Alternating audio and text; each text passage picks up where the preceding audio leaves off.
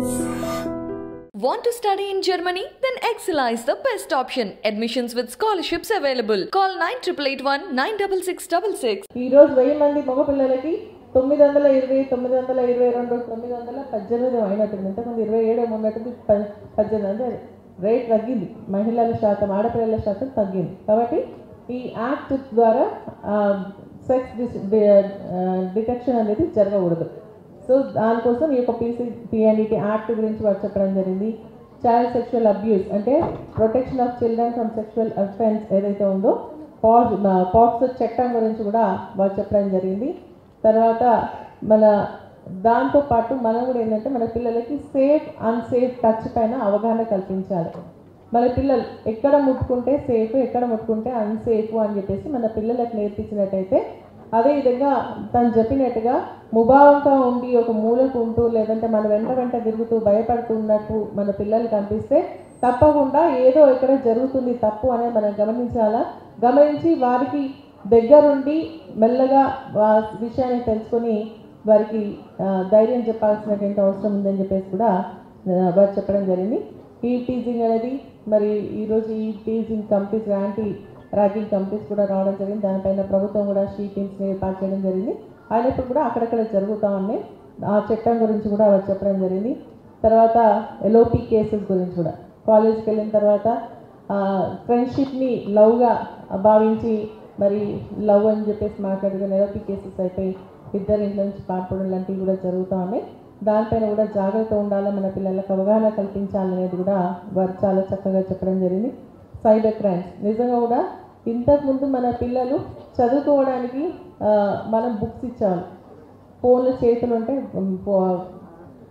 చేతిలో ఫోన్ ఉంటే కొట్టి లాక్కునేవాళ్ళం కానీ ఈ కోవిడ్ పీరియడ్ ఏంటంటే మనమే పిల్లలకు ఫోన్లు ఇచ్చి చదువుకోండి అని చెప్పేసి చెప్పడం జరుగుతుంది. అందుకనే వాళ్ళు నాలెడ్జ్ గెయిన్ చేసుకునే కంటే ఆ ఏజ్ సట్ ఆ ఏజ్ అటువంటిది చూసేదాన్ని చూడకుండా వేరే వాటిని చూడడం వల్ల సైబర్ క్రైమ్ బాగా పెరిగిపోతూ ఉంది. దానిపైన కూడా మరి వారు చెప్పడం జరిగింది. దానిపైన పూర్తి అవగాహన కల్పించాల్సినటువంటి అవసరం ఉంది. ఈరోజు ఏంటంటే ఎల్ఓపి కేసెస్ కూడా చాలా సైబర్ క్రైమ్ సైబర్ స్టాకింగ్ కింద వెళ్ళిపోతా ఉన్నాయి. అంటే మనకు సైబర్ క్రైమ్ అంటే ప్రధానంగా ఏంటంటే ఇప్పుడు ఎవరైనా మనం అన్నట్టుగా యాడ్ రిక్వెస్ట్లు వస్తా ఉన్నాం మనం యాక్సెప్ట్ చేస్తూ ఉన్నాం.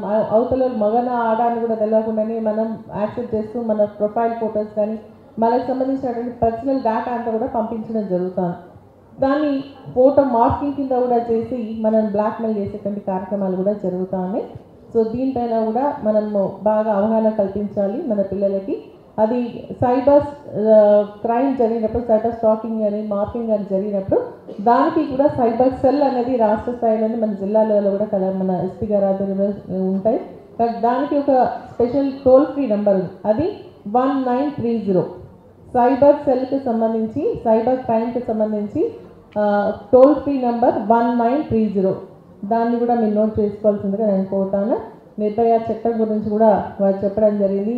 తర్వాత సోషల్ మీడియాకి సంబంధించింది చెప్పడం జరిగింది. డొమెస్టిక్ వైలెన్స్ గౌరీ అపాలేషన్ యాక్ట్ గురించి చెప్పడం జరిగింది. అదేవిధంగా మనకి జెండర్ ఈక్వాలిటీ. మనం ఇంట్లో ఏంటంటే మగపిల్లల్ని ఆడపిల్లల్ని గౌరవించమని చెప్పాలా? మగపిల్లగాని ఆడపిల్లలతో పాటు ఆడపిల్లల్ని కూడా మగపిల్లల్ని గౌరవించమని చెప్పేసి చెప్తే అది ఈక్వాలిటీ ఉంటుంది. లేదంటే ఆడపిల్లని ఒక రకంగా మగపిల్లగాని ఒక రకంగా మగపిల్లాడి నువ్వు ఏదైనా చేసేసి అని చెప్తే అక్కడ నుంచి డిస్క్రిమినేషన్ స్టార్ట్ అవుతుంది. పెద్దగా అది పెరిగి పెరిగి ఇంకా కూడా ఆడపిల్లల పైన వివక్ష ఎక్కువైపోయి క్రైమ్స్ కూడా ఎక్కువైపోయిన ఛాన్స్ ఉంటుంది కాబట్టి మన మార్పు అనేది మన ఇంట్లో నుంచే రావాలని చెప్పేసి కూడా ఆడపిల్లను మగపిల్లని సమానంగా పెంచాలని చెప్పేసి మనము నేర్పించాల్సినటువంటి అవసరం ఉంది. సో విలువలతో కూడినటువంటి సంస్కారం చాలా అవసరం.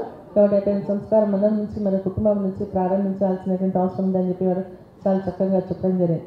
సో ఇప్పుడు మనకి ఈ డొమెస్టిక్ వైలెన్స్కి సంబంధించి డౌరీ అవాల్యూషన్ యాక్ట్ గురించి వారు చెప్పడం జరిగింది. సో ఇప్పుడు చట్టం వచ్చింది మనకి. ఈ చట్టాలు ఏంటంటే ఏదైతే మన ఆడపిల్లకు మనం కఠినంగా కట్నంగా ఇస్తున్నామో అవన్నీ కూడా స్త్రీధన్ అంటారు. స్త్రీధన్ కింద మనం ఇచ్చేటువంటి ప్రాపర్టీస్ కానీ అన్నీ కూడా ఒక పేపర్ పైన రాసి అదే మగపిల్లవాడికి కూడా చూపించేసి వాళ్ళ తరఫున ఒకరి సంతకం మన తరఫున ఒకరి సంతకం చేసి ఇచ్చినట్టయితే అది ఆడపిల్లలకు ఒక అసెట్గా మిగలడం జరుగుతుంది. లేదంటే మగపిల్లాడికి ఇచ్చేస్తున్నాం లేదంటే మనకు ఏదైనా డిఫరెన్సెస్ వచ్చినప్పుడు మళ్ళీ మనీ మనకి మనకు మన దగ్గర లేవు అని చెప్పేసి చెప్పడం జరుగుతుంది. కాబట్టి ఈ స్త్రీ దన్న దానిపైన పర్టికులర్గా మనము ఆలోచన చేయాల్సినటువంటి అవసరం ఉందని చెప్పేసి కూడా నేను మీకు తెలియజేస్తా ఉన్నా. మరి అదేంటి ఏంటంటే ఈరోజు ఇన్ని చట్టాలు ఉన్నాయి కానీ వాటిపైన మనకు అవగాహన లేదు. ఇప్పుడు డౌరీ అబాలిషన్ యాక్ట్ గురించి చెప్తాను. అంటే వరకట్నం వేధింపులు ఎక్కువైపోయి కొంతమంది సూసైడ్ అటెంప్ట్ చేసుకుంటున్నారు. అటువంటి వారికి కూడా ఈరోజు ప్రభుత్వం ఒక జీవో కంపెన్సేషన్ ఇవ్వడం జరుగుతోంది. చనిపోయిన వాళ్ళకి పిల్లలు ఉంటారు. పిల్లలకి సంబంధించి కానీ గార్డెన్కి కానీ ప్రభుత్వం నుంచి ఒక యాభై వేల రూపాయల ఆర్థిక సహాయాన్ని అందించడం జరుగుతుంది. ఎందుకోసం అంటే ఫైట్ చేయడానికి లీగల్గా ఫైట్ చేయడానికి వారికి అవకాశం కల్పించడం జరుగుతుంది. అదేవిధంగా మరి ఉమెన్ రేప్కి సంబంధించి మరి ఒక యాభై వేల రూపాయలు ఇవ్వడం జరుగుతుంది. అంటే ఫస్ట్ ఎఫ్ఐఆర్ కాగానే ఒక ఇరవై ఐదు శాతం తర్వాత ఛార్జ్షీట్ వేసినాక ఇరవై ఐదు శాతం మొత్తం కంప్లీట్ కేసు కంప్లీట్ అయిపోయాక ఒక యాభై శాతం. ఈ విధంగా అన్నిట్లో కూడా అట్లే ఉంటుంది. అదేవిధంగా మనకు కిడ్నాపింగ్ అని లేదంటే ట్రాఫికింగ్కి సంబంధించి కొన్ని చట్టాలని దాంట్లో విమెన్ కనుక ఉన్నట్టయితే దానికి ఇరవై వేల రూపాయలు ఒకటేసారి ఆర్థిక సాయం అందించేటువంటి అవకాశం కూడా ఉంది. అదేవిధంగా మన మైనర్ పిల్లలపైన రేపాక్స్ చట్టానికి సంబంధించినటువంటి సెక్షువల్ అసాల్ట్ జరిగినప్పుడు ఒక లక్ష రూపాయల ఆర్థిక సహాయం కూడా మరి ప్రభుత్వం అందించడం జరుగుతుందని చెప్పేసి కూడా నేను తెలియజేస్తాను. మన గొంతు కూడా అటువంటి అన్నిటిపైన కూడా ఆర్థిక సహాయం ఎందుకంటే ఇవన్నీ కూడా లీగల్గా ఫైట్ చేయడానికి అవకాశాన్ని కల్పిస్తూ ప్రభుత్వం మీ యొక్క ఆర్థిక సహాయాన్ని అందిస్తుంది కాబట్టి చైల్డ్ విక్టిమ్ కంపెన్సేషన్ కింద వీటిని కూడా మీకు మన ఉన్నటువంటి వాళ్ళకి తెలియజేయాల్సిందిగా ఈ అవకాశం పొందే విధంగా చూడాల్సింది కూడా మీ అందరినీ కోరుతా ఉన్నాను.